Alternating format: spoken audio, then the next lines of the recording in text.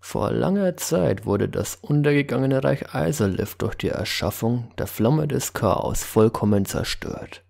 Bei der Erschaffung jener Flamme wurden unzählige Chaosdämonen geboren. Viele, oder besser gesagt nahezu alle jener ursprünglichen Chaosdämonen wurden über die Jahrhunderte hinweg vernichtet. Viele jener Chaosdämonen fielen durch die Klinge der Ritter Arno Lundos. Jedoch ein einziger, ein einziger letzter jener ursprünglichen Chaosdämonen existiert noch immer. Er verweilt in den noch intakten Überresten der einstigen Ruinen von Iselith, der letzte Dämonenkönig und der letzte der ursprünglichen Chaosdämonen. Viele Jahrhunderte hinweg vergingen.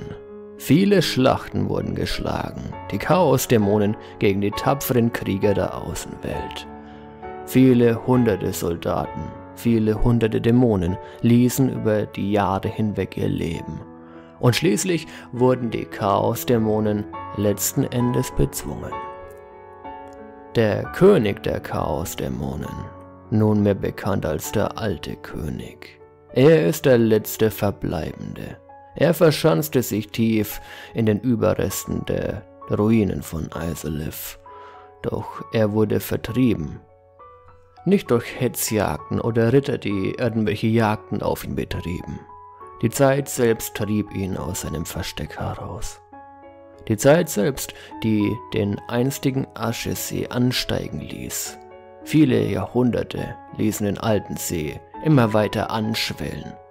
Alte Lava und all dies, was einst Isolith ausmachte, kühlte ab und wurde zu Gestein. Jene Lava wurde nun fortan immer weiter nach oben getrieben. Immer mehr von Isolith wurde unter den Lavamassen, die erstarrten und zu Magmagestein wurden begraben. Ein unwettlicher Platz und kein Platz mehr für den Dämonenkönig, der sich dort versteckte. So trieb es ihn hinauf, bis hin zu einem der alten Eingänge von Isolith. Ein alter Ort, der einst die uralte See, den Aschesee und Isolith miteinander verband. Dort haust er nun, umringt von unzähligen Leichen alter Dämonen, die durch die Kriege ihr Ende fanden. Dort haust er nun.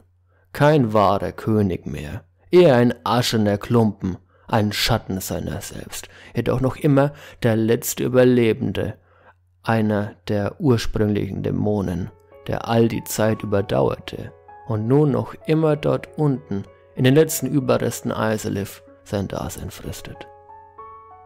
Mittlerweile ist nicht mehr die Bedrohung durch Ritter oder Außeneinwirkungen von anderen die größte Bedrohung für den alten König. Die Zeit selbst schließlich wurde zu seinem größten Gegner. Denn die schwellende See, der Aschesee, wie er einst genannt wurde, dringt immer weiter nach oben, bahnt sich einen Weg durch Lavagestein und Fels, und allmählich wurden die Lavaseen abgekühlt. Ein riesiger See aus Wasser umschlingt nun uralte Ranken, die einst von tief herab aus dem Aschesee ihren Weg nach oben fanden.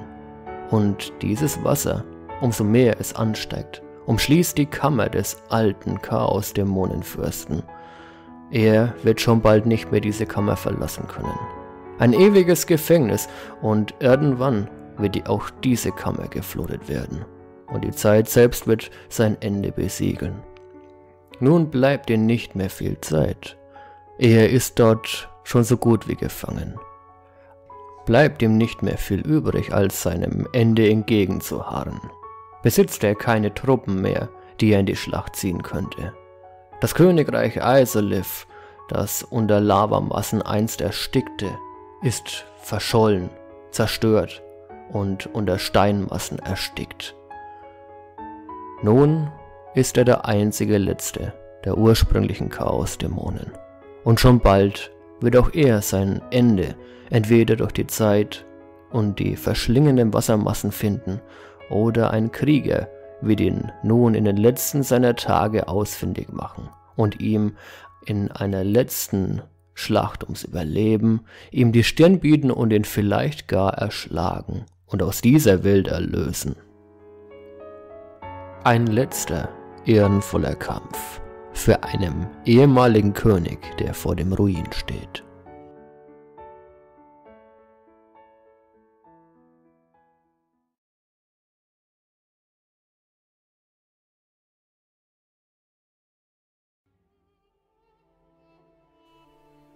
Und nun sind wir bei der Endcard angelangt. Hier könnt ihr ganz gemütlich entweder einfach das nächste Video bzw. die nächste Playlist starten. Ihr könnt mich abonnieren, dort so einfach auf mein kleines, schickes Avatar-Bildchen klicken. Oder wenn ihr mich unterstützen wollt, könnt ihr auch auf meinen Patreon-Kanal gehen und da mein persönlicher Patreon werden. Natürlich gibt es da auch bestimmte Rewards, die ihr da erreichen könnt. Oder ihr könnt auch einfach nur, sagen wir, eine kleine Seele in den Hut werfen und mir eine Freude machen. Und nun, vielen Dank für eure Zeit. Ich hoffe, das Video hat euch gefallen. Wenn dem so war, vergesst nicht ein Like dazulassen und wir sehen uns beim nächsten Mal wieder. Bis bald.